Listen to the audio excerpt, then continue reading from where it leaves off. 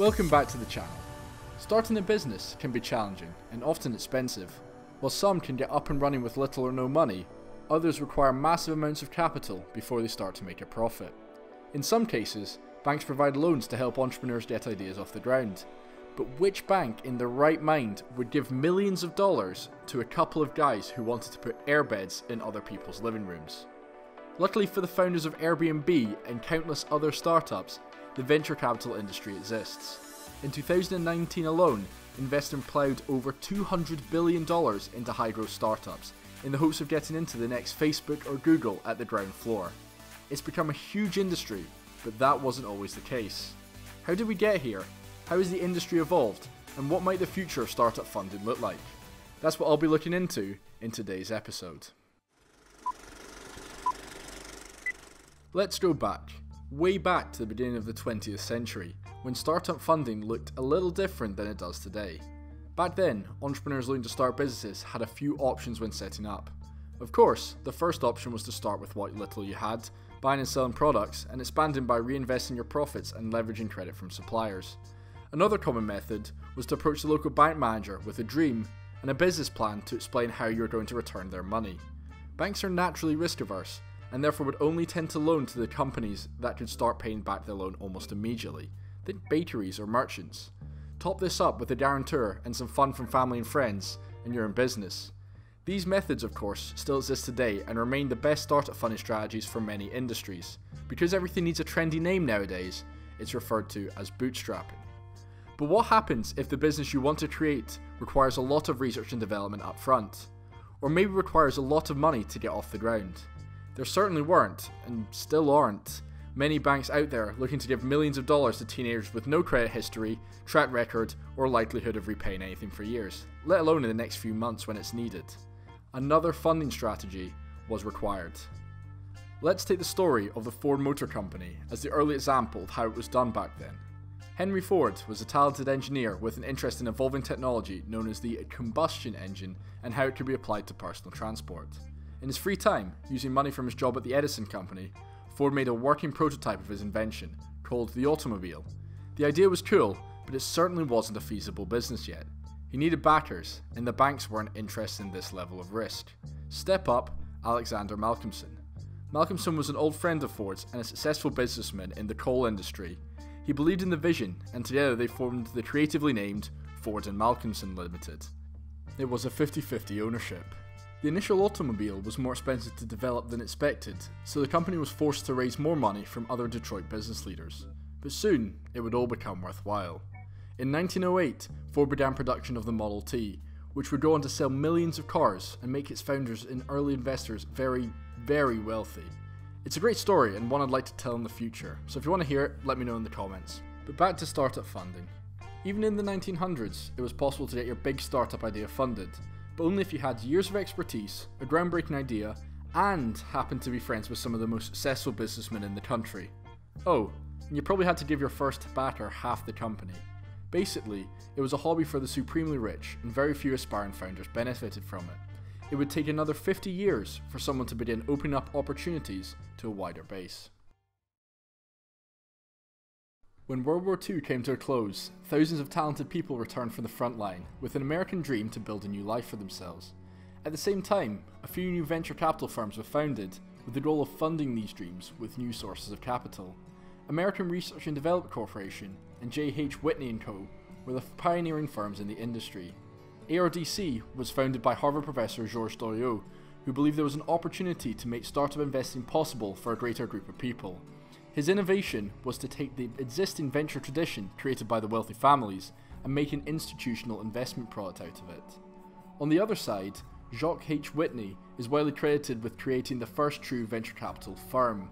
In the early days after founding, Whitney surrounded himself with a team of 13 partners whose experience spanned finance, business, law, and academia, as well as 20 additional support staff to help with due diligence and support the founders' business activities.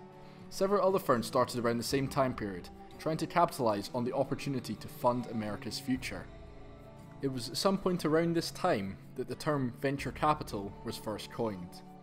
Now, during the 1960s and 70s, VC firms focused their investment activity primarily on starting and expanding companies. More often than not, these companies were exploiting breakthroughs in electronic, medical, or data processing technology. ARDC is credited with the first major venture capital success story when its 1957 investment of $70,000 in the Digital Equipment Corporation would soon be valued at over $35.5 million after the company went public 11 years later. That's a return of over 500 times the original investment. Soon, venture capital became pretty much synonymous with the financing of new tech. There were some success stories of this time, but many of these early firms failed to properly incentivize their partners or startup founders, leading to some poor returns overall. There was clearly opportunity, but still a lot to figure out. Encouraged by emerging technology and some of the early success stories, new firms entered the market with a focus on properly aligning founders, VCs, and limited partners.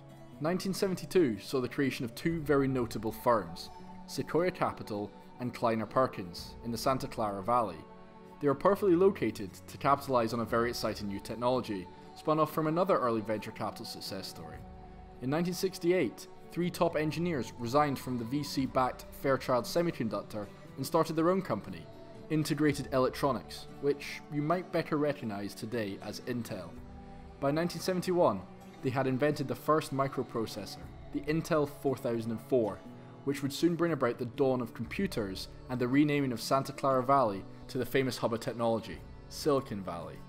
The aforementioned venture capital firms helped finance the companies that brought about the revolution, with Apple and Compaq being standout success stories. It's important to highlight at this point to any entrepreneurs watching right now that venture capital is certainly not the be all and end all. Often you can achieve so much more by holding onto your equity and stealing on revenue. Take Bill Gates' Microsoft story. So uh, when you started, uh, how did you avoid what so many other entrepreneurs are unable to avoid, which is taking venture capital money and diluting themselves? You didn't really take venture capital money. How did you avoid that?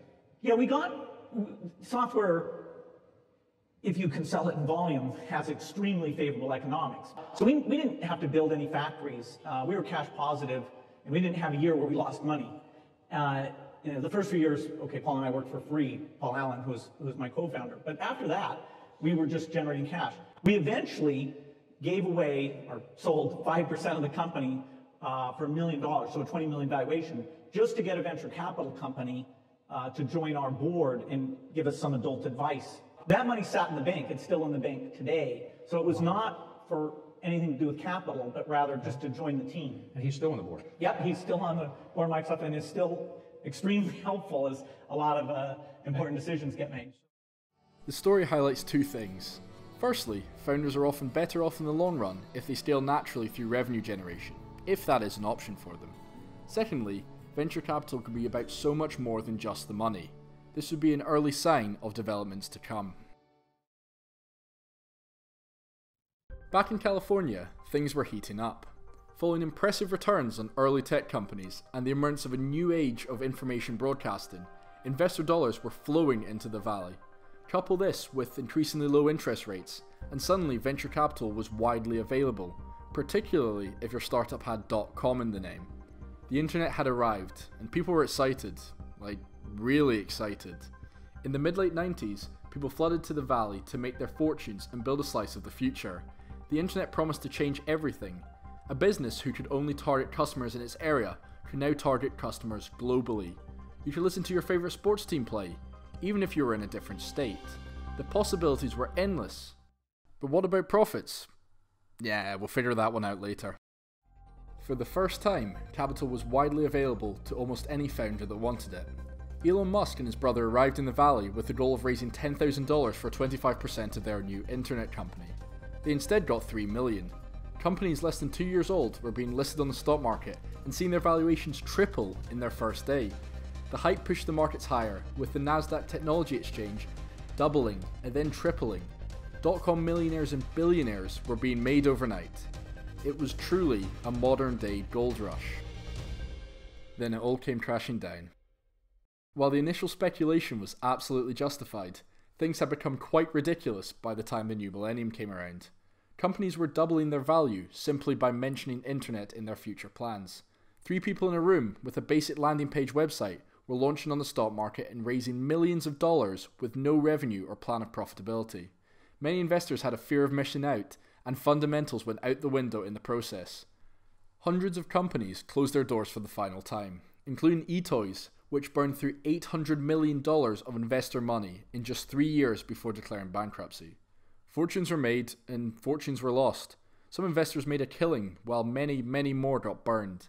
By 2002, the Nasdaq had lost 80% of its value.